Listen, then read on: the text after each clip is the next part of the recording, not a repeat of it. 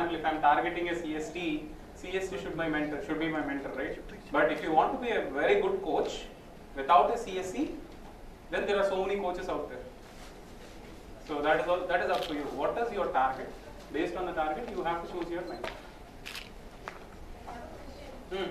I remember on slide the majors from gathering. Hmm. Uh, we saw the statistics, how many CSCs, how Hmm. many CSCs. So, uh, we, we showed like we have 15 CSTs Hmm. and with these CSTs, so I was saying how is it the CST without becoming a CST? So there is, I mean, there are two paths from there.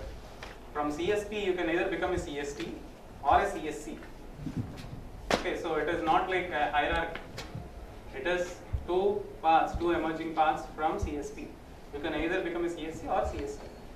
So, uh, the person who is CSC can go CSC? Yes, a person who is, yeah, a person who is CSC can also go for CST. That is additional. Or a person who is CST can also become a So CSC. That will be the additional benefit for him to Correct. both. Correct, correct. We have quite a few, quite a few people out there who are both. Yeah.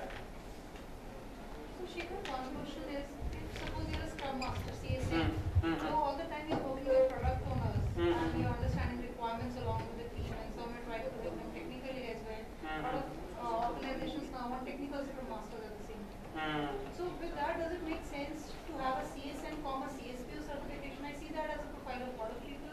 But you know, as we all the time see cut to base, cut that's what you know, as a process.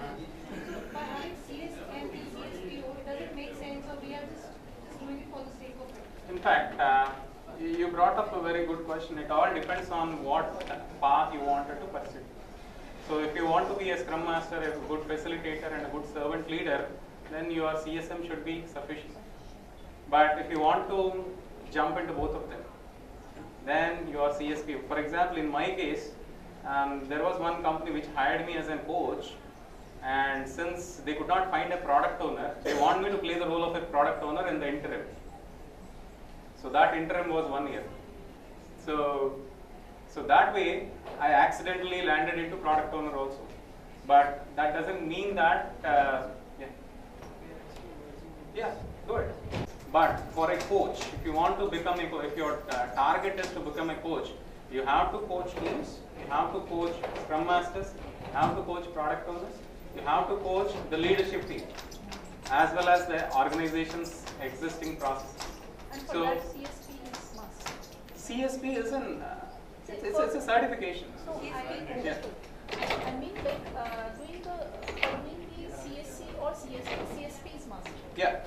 That's Correct, the correct. You cannot jump directly. No, no, no, no. You cannot jump directly. CSP and Vertius. And after CSP also, we have one year wait for CSC or CST. This is a previously it was a soft uh, im, uh, uh, requirement. Now it is explicit requirement. Previously it was implicit. Yeah, yeah, certainly. Because PO is yeah, certainly. You don't have to. You don't need a certification, but if that is what people look at it, and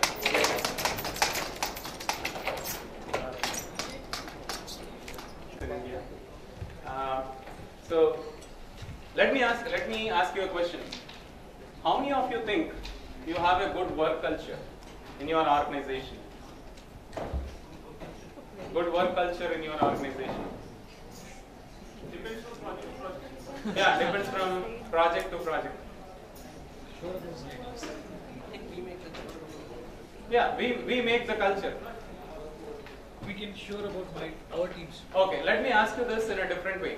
How many of you think that we need to change the culture to make agile work in your organization? Okay, there are so many hands out there. So this is a quick survey which proved that agile will not work with the existing culture. So we need even to transform our work cultures also. And this is an attempt in that direction. So let me quickly um, tell you what is an organization culture. So this is this guy, Schein. So I don't want to read this. You can you can probably read it out. This is what he meant by uh, work culture or organization culture.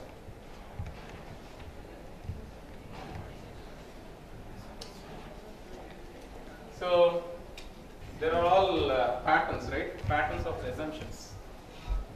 Everyone have their own set of values and beliefs. Okay, so let me show you something then. How many of you know this company? Zappos. They were in news in the recent, recent past. Can someone tell me the story of this? How many of you know the story of Zappos? Yeah. They started with shoes and things like that. Yeah. So they are an online shoemaker initially, and then now they are everywhere. They become a big bazaar like our thing. So I have seen so many times. Uh, Tathagat was also telling how Z- Z- Zappos. I mean, I, I'm I'm a fan of him, so I watch his most of his Facebook uh, conversations. So where uh, he was clearly highlighting what Zappos did. I think there is no manager in this organization. Yeah, so there is one word called as holacracy. So, okay, just, just read through this, the, the core values of Zappos. Just read, read through the core values of Zappos.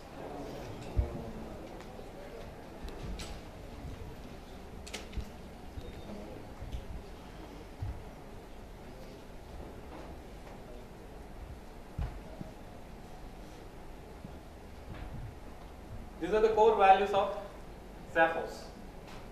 Okay, I'll show you something else. Now, there is a US, US government forest services. They also have the values.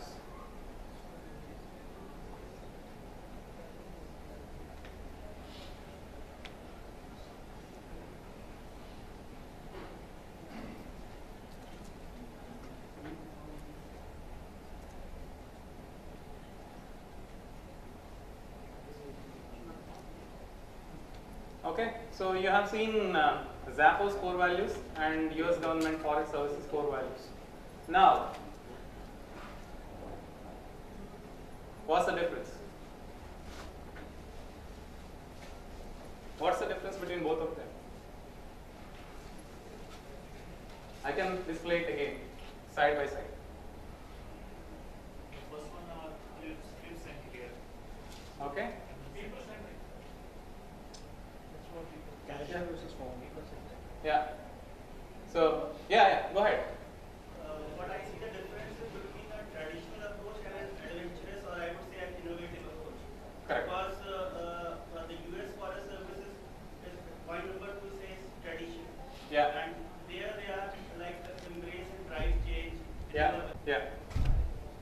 So there are so many differences, right? But the way how Zappos approached it, and yeah, Actually, one of one one one is doing the job, they're enjoying the job, and some other one is. exactly. That is that is the that is the most important one.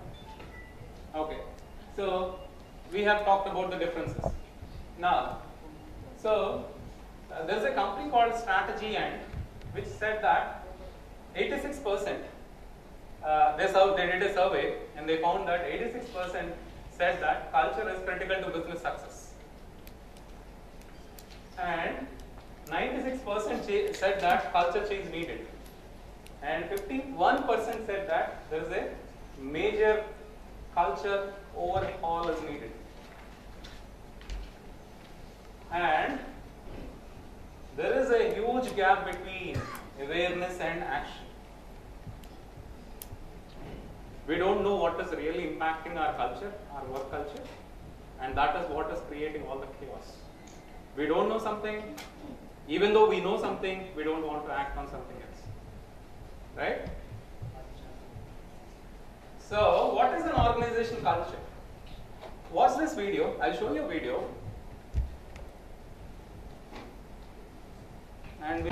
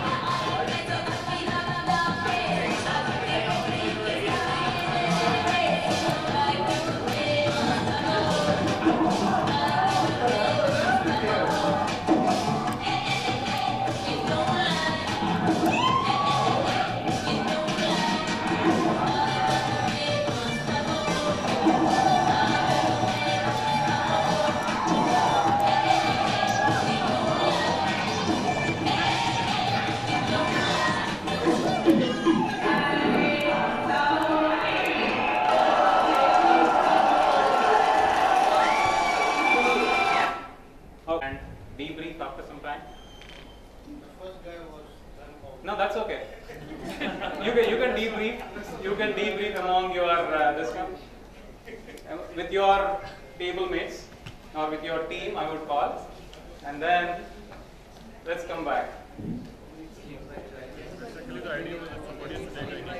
persistence is the key. I mean, he was Yeah. going on and on and on and on. Yeah. Okay. Lot Great. many people didn't follow for quite a long time. Okay. But yeah, Yeah. happened. Okay. So what else? So it took uh, uh, same time to convert 10% of the people and then the 90%. Kept on doing it though it took long time for uh, Yeah. even the second person to join him Okay.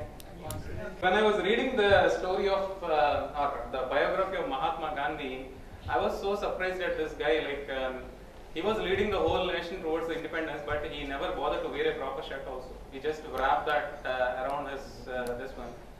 So I, I- I see leaders are so weird. So they lead by example, but at the same time, no one will understand them first, and then they create a mass following for themselves later. That is that is what I uh, when I read some of the leaders. Uh, You should be determined and confident at exactly, exactly. Somebody has to initiate the change. Exactly. The person who's initiating So- the change looks most weird person Yeah. initially, but still, in spite of all the negative things that you Yeah. read, maybe people giggling loud. Yeah. So when, when I was talking about "You Agile, when I was talking about Agile in 2009 and 10, people used to laugh at me. Really, people used to laugh at me when I was talking about Agile in teams, no command and control and all. People, people used to laugh at me because I did my CSM in 2008, and uh, we have only like 12 people in our class. Now CSM's classes are filled with like 70, 80 people per batch. You can imagine, right? Okay, so for leaders, if you don't understand the subject of culture, you are fighting an uphill battle as a leader. So a leader is someone who set the culture. And let me tell you, most of the cultural transformations fail because they start bottom up. Bottom up is a real myth. Bottom up cannot work, especially when it coming to the culture. Okay, so culture paradox. Uh, sustainable culture takes time, and the key focus should be on the clarity, engagement, values, and results. Why cultural effort, cultural change efforts fail is because of few reasons which I have identified. No clear focus on performance, lack of isolating top one to three values of the behavior. See, every time when I say when I ask someone like, um, what are your problems? They say like a list of 20 problems. They have a basket full of problems. And if I ask them to isolate what are your top one or top two problems, it will, be very difficult for them. Because when I when I try to decouple each of the problem, each one of it is linked to the other problem. And no clear alignment framework. There's no framework for them to leverage the unique culture and support the behavior shift. These are the three reasons why the culture transformation failed. Yeah. Yeah, and- and the main one which is missing, I don't know if you Yeah. all agree. From that video, I can get that a leader with conviction that I need to change, Correct. and he need to that Yeah. lead that because So- everything else Yeah, we follow. talked about it. We talked about leaders, right? Leaders have to do the top down. But for an organization, tell me what change you need in your culture. If I if I go and ask an organization what change you need in your culture, I need that, I need this, they'll tell you 10, 10 20 problems. And we we cannot attack all problems at a time, right? Right. Okay. So so what are we trying? So I, I, uh, I'm going to mm, show you a small framework. Uh, there is a guy called Tim uh, with whom I'm working on this framework and uh, this guy and I, we were uh, doing this transition to Agile. We have this knowledge uh, body. So that is where we both are working together. And we have been trying this for the past two months. And with, I mean, I don't want to guarantee that, okay, it will work in every environment or something like that. But the results are positive so far. And that is where uh, we were doing incremental changes, small, small changes. Okay, so all we need is a common sense framework. Categories of performance culture. So I have read uh, this book, Stephen um, Covey, uh, Four Leadership Imperatives, and Lassie, Larry, sorry, uh, Jim Collins, Good to Great. And what we did is we isolated the performance culture operating drivers. So strategic and financial alignment, core process improvement, motivation and talent management. These are the four pillars of a good culture. And then everyone defined, all these three defined in, in their own way.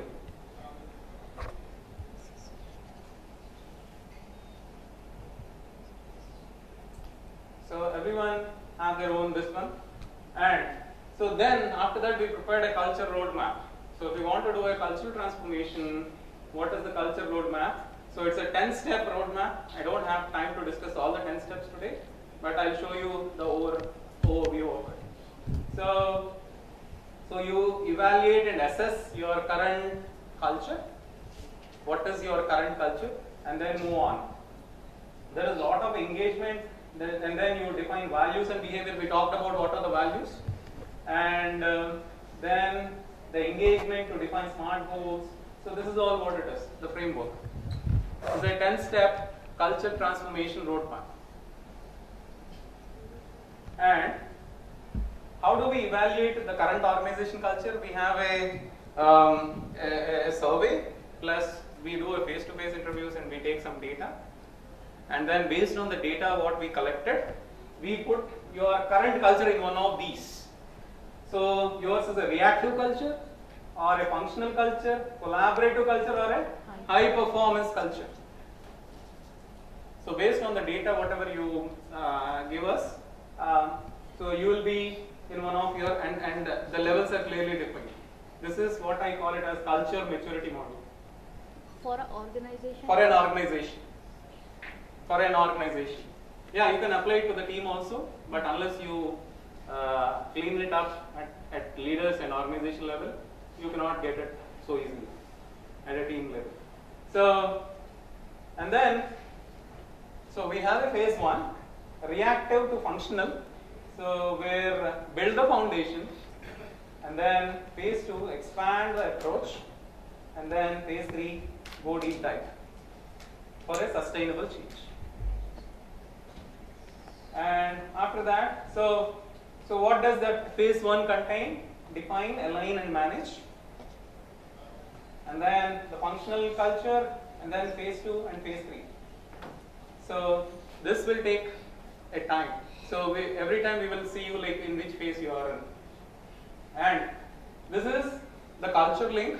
Every time we map your performance priorities to the values or behaviors, whatever you need to have. For example, if you your company want a new culture, new customer growth, the discipline should be, I mean, the, the kind of behavior should be the teamwork. And if you want the more cash flow or a profit, then the discipline in your organization. So your performance priorities are mapped to what is the real values and behaviors you need to have in an organization. And those behaviors should be led by the leaders. Leaders lead them as an example. And then the engagement at a team level under the leader. So drafting the vision, one big thing is um, uh, the, the, the results and we focus on your strengths and one, two, three weaknesses and key operating model changes. So for example, in the time period 1 to 6, months 1 to 6, the performance priority is this and the weakness is this. So we attack your weaknesses and we build on your strengths. Okay? So Yeah, I know. This is this is one of its model. I mean, I don't know whether you have seen something like this in the past or not, but this is this is uh, what we are. This is an evolving model for us. We are making still so many changes based on feedback, but this is the model we have at this point of time. So the culture lens, what we have is uh, performance priority, and we identify the values of your company. Many times, the biggest challenge is uh, the values are not converted into real behaviors. So I have seen every company will have values, right? Ethics and integrity, that, this, and all. So many values. I have seen one company where uh, in the reception they have values, like seven values, and there is a waterfall over it. I was like, okay, your values are underwater. so, so the, I mean, see, we need to be very serious about our values, and the leaders should be every time monitoring that the values should be converted into real behaviors, the expected behaviors. There is a huge gap between drafting the values and getting converted into real behaviors. And every company have values, but they are only on paper. They are only on paper. So that, that's what it is. Values should be converted into expected behaviors. Okay, so build a culture muscle. This is at uh, teams level. So what you do is engage team in brainstorming impro- improvements, prioritize the team. For example, most of you have a problem with um, the performance appraisals, right? So this is one problem which we try to attack, and we invited um, a lot of suggestions from the teams itself rather than we try to uh, build a process because we don't know. Uh, people in pain can give us more information than what we what we really try to build. So engagement is really important. We try to invite a lot of uh, suggestions from people like how a new performance appraisal should look like. And we got like three four very i mean so many ideas and we shortlisted three four and we made a model out of these three four uh, this one. And we are piloting it so engagement is really important if you really want a culture shift. Okay, and then track your strategic priorities, priority one, priority two, priority three. And then this is a quad chart. Every six months, one month to six months, we prepare the top issues, the leadership, team support, uh, focus quadrant, and then the goals. So, and then we come across a lot of obstacles. There is so much of resistance. So much of resistance, people don't want to change. And what we do, some of the examples of obstacles what we have come through is fear or hesitation about taking an action. This I see among the leadership. They don't want to take it, they want to play safe every day. And then I am not in a position of authority to drive change. This is another obstacle. Struggles to obtain management support. And then why are we doing this? Questions about the purpose. Because all the uh, stakeholders, all the teams are not aware of the purpose, the communication was not sent across. So there is a communication gap. And then why are we doing this way? Questions about the process. I don't have time. Again, this is a leadership trait, leadership and leadership uh, behavior. We are totally overwhelmed. Your stress as a leader managing the load and follow. This is also one of your one of the leaders' obstacles. With that, and then after this is the phase one, and then you move to phase two and phase three. And that is what it is. I mean, within this time I can, but there is a deep uh, framework here. I wanted to, um, the, within this time I can only give you an, an overview of it, but I'm open for any questions. Are you saying that using this as a reference, we can uh, work on organizations, or you're saying uh, we engage with you uh, and you can help us? No, no. See, the, the, the biggest change is what I what I wanted to, to say is culture transformation is a gray area. Most of you don't know it. And recommend is transform your culture before you look at agile. Okay, so with your existing work culture, most of the time agile might fail. So, so there are symptoms and root causes. How many of you? So let us say, for example, I think I, I gave, gave this example also. I have a cough today. The symptom is cough, but the root cause might be something different. That I have to go to a doctor and he'll give you a diagnosis. He'll write some tests, and then after the diagnosis only, you will be able to finalize what is the real root cause of my cough. Isn't it? So, when your root cause is a culture, the problem of your organization is a culture, then why do you attack something else? Try to fix the root cause. Yeah. Yeah. Yeah. Th- that, that is what we say. So culture transformation is so much important. Most of us we are in a command and control culture where we don't uh, have this perform high performance culture, right? Yeah. But you know, uh, it's very for sure that it takes long time, Hmm. five year time frame, even more at times. And then stopping it and living in a command and control era, just and, and not shifting to something which looks at least sensibly better. No, It- no. See, I'll, I'll tell you, sense, right? culture shift each and every performance parameter. If you if you have like 20 problems and this is all I want to change, no, you cannot go that way. That will take five years or even more than that.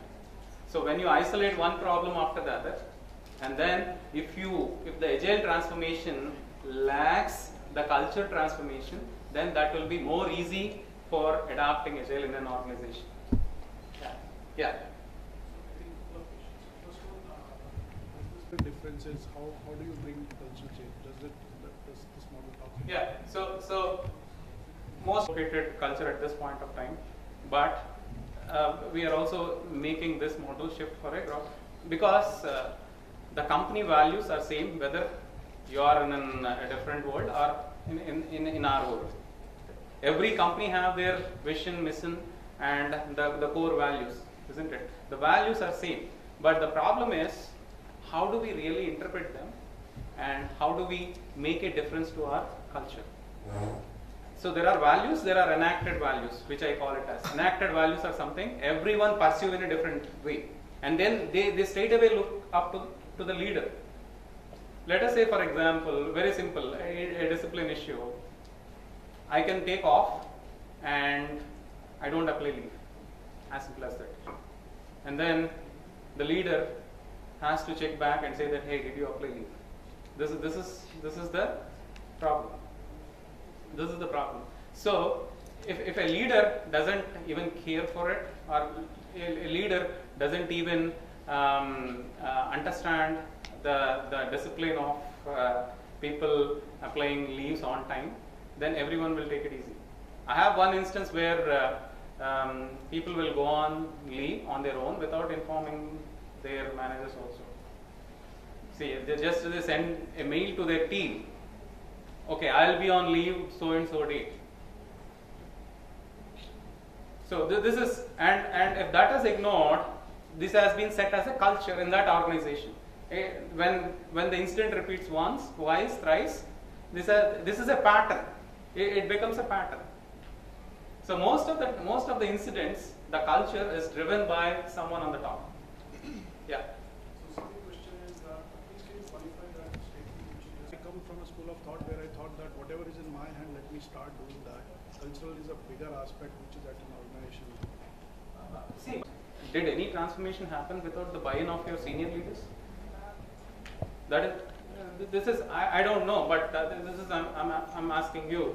So even if you have to do something at a team level, also it has to go all the way from the it has to come all the way from the top, right? So yeah. At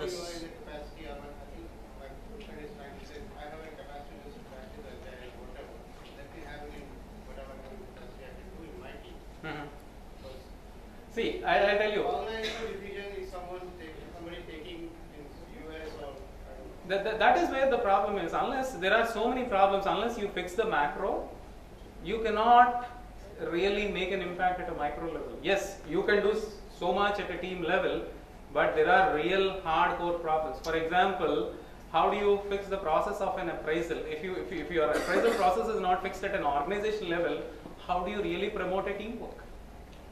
You cannot. Uh, you can never promote a teamwork, right? I think I'd rather start bringing some values in my project. Correct. But but see, the, you should understand. Yeah, you should understand what are the forces acting against agile, what are the forces acting in favor of agile, and you have to neutralize the forces that are acting against agile. Again, I was not discussing any, any, I'm talking about any agile, best practices, sprint, sprint. I would rather focus on practicing agile, not talking about agile, and based on some research. Hmm. But I, I don't know how many of you are really successful in that. Only focusing on team level, and I don't focus on a bigger picture. I don't know how many of you are really successful. But successful. that again depends. Like if you, you know, calibrate that if you are success at a organization where like maybe in your team, your peer group, maybe the product team, all the functions, if you are able to make that change happen in even this area, whether your CEO knows or not, at least you are doing justice because you are not cribbing that my CEO or my leadership is not taking action on uh, culture. You know, I, I know what you are saying is also See, perfect. see, uh, see, the- yeah. of my capacity, I'll try to do something. Yeah. And I've burned myself also. Yeah. Because I'll take one example that uh, I tried to implement Agile for a 90 member ODC I was heading. And I was at that time part of one of the Indian, the largest Indian IT company. And the company decided to go CMI. With Agile, I, I was not tracking the typical waterfallish CMI matrix. So only I know how much heat I had to bear from my top management that why are you doing something which they don't understand and it is not in line Yeah. with the organization's mandate Yeah. of CMI. See, the team, there are fair chances that it will get roadblocked at some point of time. I think, Yeah. I think uh, has to go in coincide with what you are saying. Yeah. The approach needs to work parallelly. Yeah. One thought of one thought is that till the time, like Rikesh was saying, till the time you not realize the value out Yeah, of it. yeah. That is also important. Yeah. But then if you want to trans, you know, take it to a bigger level, it Yeah. has to be top down. Yeah. So, but do the senior leadership support something which you are doing or which they don't understand, you only understand? They will not. Actually, that's a fair point, but we cannot wait until leader. Yeah. So you you can do something in your own thing. I, the, the biggest problem is most of the. I'll, I'll also give you some of the examples. There are very good companies out there which they say an okay to agile transformation, and then they start agile transformation project managers with a delivery mindset. So they, they, they have this hook and crook delivery. Okay, I have to deliver this at any cost. Even the governance model, Yeah. the metrics, Yeah. uh, uh, you know, someone tracking and wherein there are 10 projects, two projects are agile, eight are Yeah. non-agile, and then you are rolling it up at a governance level and Yeah. then So, uh, and, and then added to the chaos, there is a scaling issue, right? At this point of time, then you are scaling your problems also. Right. So you are not only, uh, uh, I mean, scaling the agile, but you are also scaling your agile problems also. Yeah. Yeah. Yeah, so uh, in my organization, uh, uh, what different I did is instead of uh, telling the problems, because there will be n number of problems, and we know the rule 80-20 rule, 20, uh, 80% of the problems are because of 20% of the Mm, reasons. mm, mm. So I prepared a PPT in Mm. which I highlighted all the reasons. Mm. So if I had to prepare a PPT on the problems, I would have made a 100 slides PPT. Yeah. But I ended up making only 3 slides PPT Very and good. it really So, worked. so what I can suggest you is you draw a Pareto analysis also, Yes. which will give you the top three problems or something like that. This is what we use for uh, um, isolating the top problems. Pareto analysis is a good check. Yeah. I think I'll come back to that point again. So, Yeah. uh, you know, uh, what I'm struggling in is, uh, maybe you know, I can touch base outside as well. So my understanding or, or, or what, what I have understood is that Agile bring all your problems on the surface, and I completely agree with you that nothing starts without from top leadership. Mm. But cultural change is a larger aspect. Even even just just because my CEO says that you know we have to change, uh, we have to be agile, that doesn't mean that the culture is going to change. Mhm. That is just a driver that now people will give more weightage to. Mm. Probably, but at the end of the day, it is the lower level which has to change. Yeah. Like for example, you just gave an example that where uh, you know somebody is not filling filling uh, you know uh, going for a leave and they are not filling it. I mean, I don't think so. Any model can fix that. Probably that's a human issue. Probably. I mean, so that's that, that is I- where they have to look up for the leader, right? If a leader sets that, okay, this is what you should do. Otherwise, within these many days, you are going to get something, a notice or something like that.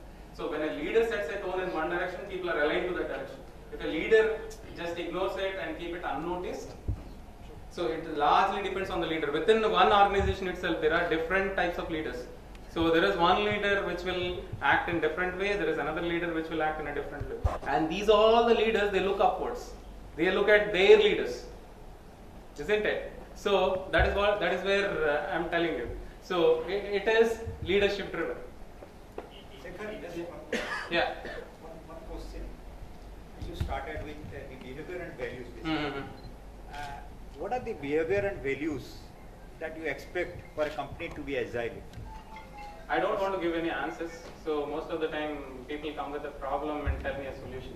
Usually, coaches will not give answers. No, no. You Yeah, it is largely the context dependent. You, you said agile cannot go without changing the culture of the organization. But what agile requires as behavior and values, if you do not identify that and change that uh, uh, uh, or approach the senior executive for that, okay, you change these behavior values in this organization, then only you can go for agile. Yeah, we do an assessment, right? In, in our roadmap, the first step is doing an assessment. Assessment of your culture. And then mapping it to what Agile expects. So, uh, if, if the core values of Agile is the working software, the, um, the responding to change, and all these are all the uh, uh, manifesto of Agile. When you do an assessment, if you find anything contrary to your uh, if your culture is contrary to your agile manifesto, then probably we suggest some changes where this is where you have to change. Agile has its own manifesto, agile principles, agile values. Okay, so when you are doing an assessment, you have to find out how the results are coming up. Then you map both of them and say that okay, this is where we have to do some changes.